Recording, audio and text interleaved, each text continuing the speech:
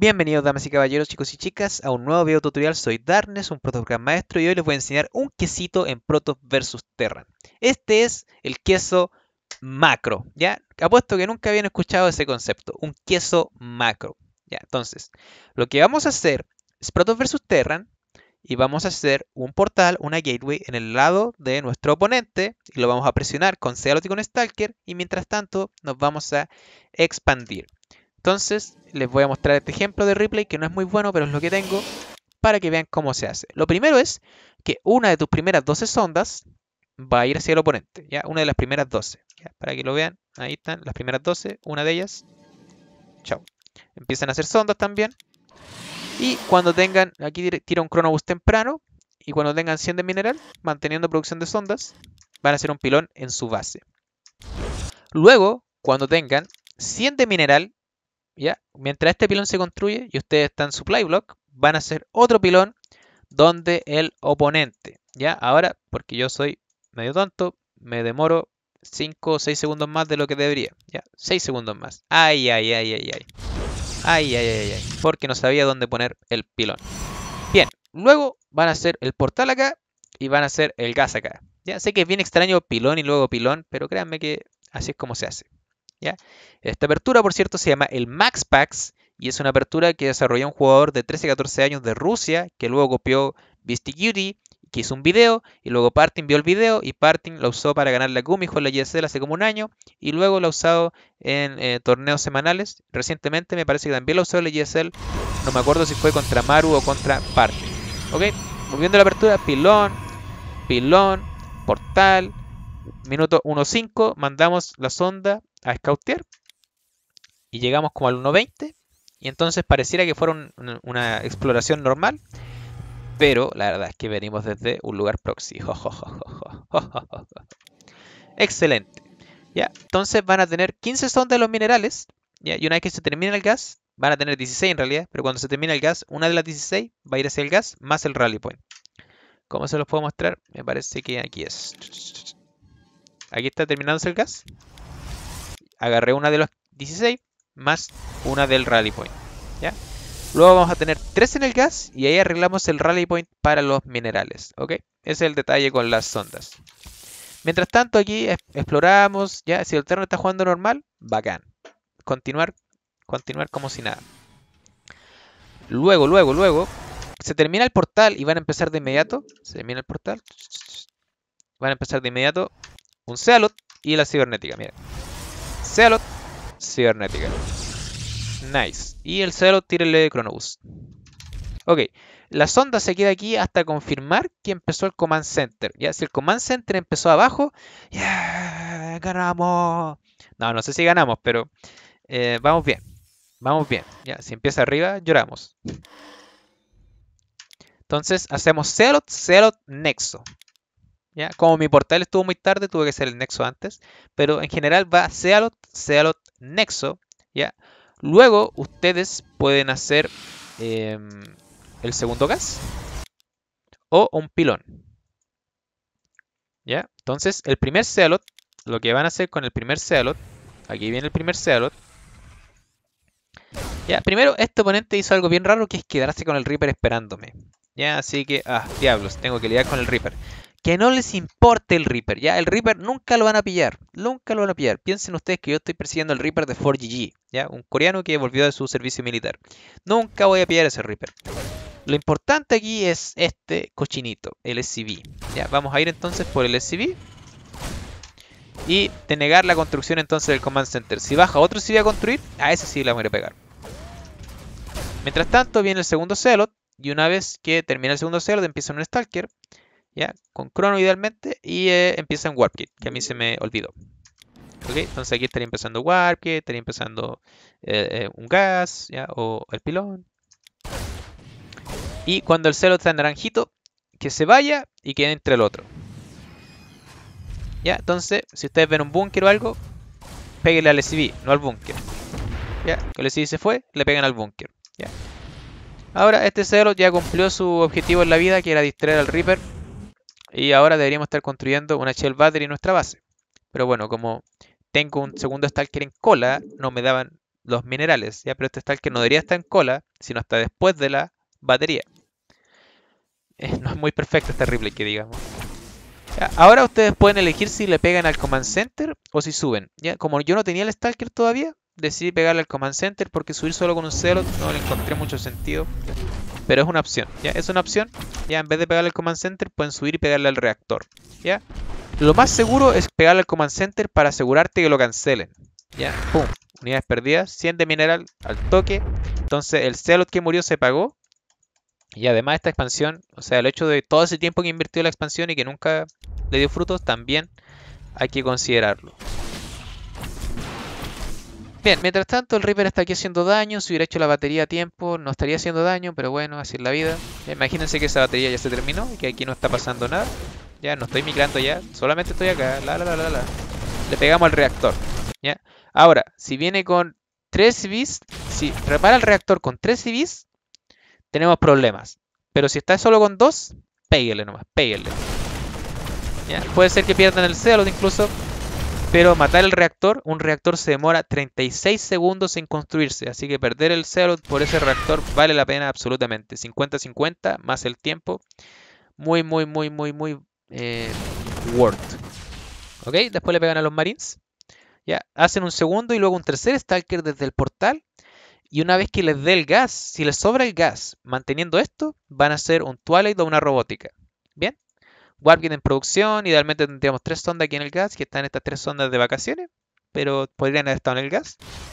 Y si ven aquí que el oponente está concentrado en su micromanejo, ya fíjense que aquí estoy yo, oh, está concentrado en su micromanejo, ya, le hago surround al Reaper. ¿Chay? Ya hasta los coreanos se comen el surround. Perfecto. Ya aquí con el micromanejo la idea es pegarle a los marines, no a los. Ya, y siempre el Stalker más débil que se queda atrás. Ya, usarlo como carnada. Ya, Stalkers siempre van a reventar a marines en números pequeños. Ya, un Stalker vale 125-50, esto vale 50. Así que estamos tiki-taka. Ahora podríamos estar agregando el Twilight, ¿cierto? Portales o algo. Terminando esta base. Pero bueno, pretendamos que todo esto va bien. Y mientras tanto veamos este encuentro. Intentando salvar al Stalker. no alcancé. y ahora sería un buen momento para retirarse. Pero aparentemente aquí abundan las malas decisiones. ¿ya? Sin embargo, aquí la apertura ya se acabó. ¿ya? Aquí, ya hasta aquí debería llegar el tutorial. Porque aquí ya hicimos todo. Entonces, ¿qué fue lo que hicimos? Repaso. Pilón, ¿cierto? Primero le tiramos un Chronobus de inmediato al nexo. Cuando empezó la partida, Chronobus al nexo y enviamos una sonda a explorar. Luego, cuando tuvimos 100 de minerales con 15 sondas, metimos un pilón acá. Luego, cuando tuviéramos 100 de minerales al 0.32, haríamos hecho un pilón acá. Luego, el portal, una vez que se termina ese pilón, manteniendo sondas. Y luego el gas después del portal. Una vez que se termina el portal, vamos a hacer un Cealot y vamos a empezar la cibernética. A ese Cealot le vamos a tirar un Chronobus y luego vamos a empezar un segundo Cealot y luego del segundo Cealot vamos a hacer un Nexo. ¿Ok? Una vez que tenemos eso en camino, vamos a hacer entonces, podemos empezar un segundo gas o un segundo pilón. Ya, yo creo que el segundo pilón es mejor. Em, vamos a ver aquí cómo nos va, ¿cierto? El primer Cealot se concentra en el SCV que está construyendo el Command Center. ¿ya? Luego el segundo Celot viene a apoyar y hacer literalmente lo mismo porque la meta aquí es denegar este command center, ¿ya? Y una vez que el Reaper ya no te persigue el Celot, es momento de tirar esa batería. Bien, Warp Kit, una vez que tengas los recursos para hacerlo, ¿ya? Si se te olvida, no es muy importante que esté el timing perfecto, porque es imposible que te ataquen por ahora. Como pueden ver, a mí se me olvidó como mil años y aún así no, no me afecta mucho, la verdad. Ok, pero Warp Kit. Entonces, Celot, Celot, Stalker, Stalker, y me parece que uno puede hacer tres Stalker, ¿ya? Tres, Stalker, Stalker y tercer Stalker, ¿ok? Em, variaciones, variaciones, cosas que uno puede hacer distinto. Por ejemplo, si ustedes están aquí con el Reaper y no tienen batería y no quieren hacer la batería, si son reacios, pueden gastar esta energía en tirarle Recall a este primer Stalker. ¿Ya? Que recuerden, perdón, este primer Stalker, ¿dónde está el primer Stalker? Aquí está. Ahí se terminó. Ya, no tienen suficiente energía. Entonces, cuando, si se acuerdan, yo les dije que usaron Chronoboost en, eh, ¿cómo se llama esto? De inmediato, cuando empieza la partida. Pero si ustedes eligen saltarse ese Chrono Boost, pueden usarlo ahora. Si es que el Reaper se les vino de cabeza, ¿ya? y ustedes guardaron ese crono, cuando sale el primer Stalker, si no hicieron batería a tiempo, pueden tirarle Ricar al primer Stalker para no tener que lidiar contra el Reaper. ¿Ya? Yo pienso en general es mala idea, es mala idea hacer eso, lo encuentro débil, porque sin el Stalker, el Cealot solo, porque generalmente va a quedar un solo Cealot, no va a hacer nada, no va a lograr nada. Yo creo que es mejor tener el Cealot y el Stalker aquí, gastar ese primer crono y hacer una batería, ¿ya? El tema es que la batería tiene que empezar antes de lo que la hice yo. Entonces, si empezó al 2.45, deberían empezado al 2.30. ¿ya? ¿ya? Tener eso en mente. ¿ok? Entonces después uno se expande, ¿cierto? Eh, el seguimiento puede ser lo que quieras. Literalmente un Stargate robótica actual da lo mismo. ¿ya? Es una apertura macro, solo que es distinta, ya que tienes que mantener la presión y pensar en que te puede aparecer un Reaper. Bien, comentarios finales. Comentarios finales decirles que qué es lo que creo que se debería hacer si te hacen proxy barraca.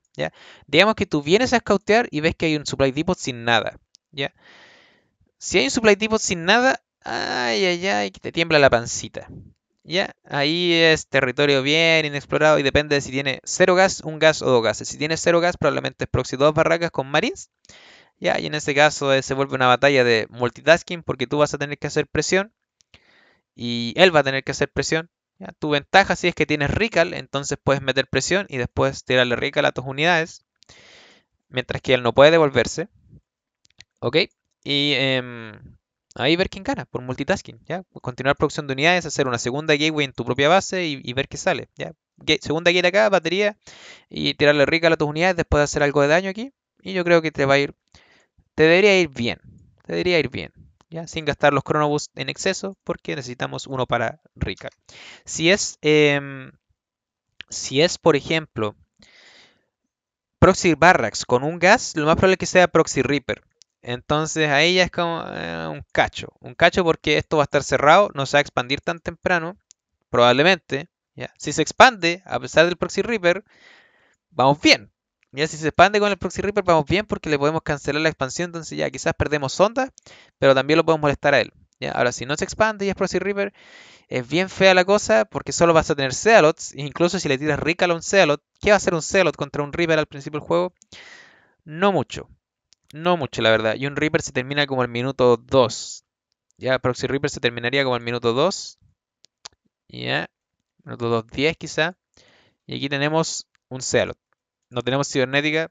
Yo creo que ahí nos iría mal. Si es Proxy Barracks con dos gases, entonces probablemente es para hacer Proxy Factory, hacer como un 1-1-1. Ya, ahí como que... Eh, eh no, no hay una respuesta específica, es como hacer una robótica, baterías y ver quién gana. Nada que hacer. Bien, eso era para darle unos guías, unas guías para escenarios hipotéticos que pueden encontrarse, pero como pueden ver en general, se van a enfrentar a un terreno estándar, van a ver el command center abajo, si en el command center abajo se alegran, le meten los ceros al CV, deniegan este command center y luego son felices con su nexo, sus estructuras y su toilet. ¿ok? Espero que este tutorial les haya servido de algo. Ya, Em, los quesitos contra Terran no son muy fuertes, pero este quesito en particular es muy bueno porque abusa de la tendencia de los Terrans de expandirse la natural y de solamente con el Reaper en vez de enviar un SCV entre el minuto 1 y el minuto 1.30. Si se acuerdan de mi guía de scouting en Terran vs Protoss, les mencioné a los Terrans que específicamente tenían que enviar un SCV en ese momento y era específicamente porque puede suceder el Max Packs. ¿Mm? Así que aquí complementando los dos, lados de la moneda con el lado Terra el lado Protoss. Nice. Así que nos vemos, cuídense que estén bien. Si el video les gustó, suscríbanse, denle like, comenten. Si no les gustó, denle dislike y comenten por qué no les gustó. Y nos estaremos viendo en la próxima.